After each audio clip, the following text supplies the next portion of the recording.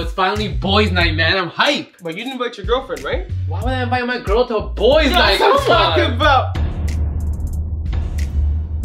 I thought you said you didn't invite your girlfriend, man. What do you mean? That's not my girl. That's my boy Jazzy. That's Jazz with a hat on. If that was Jazz with a hat on, why does he have a deep voice? Yo, yo, what's good? I'm I'm out, man.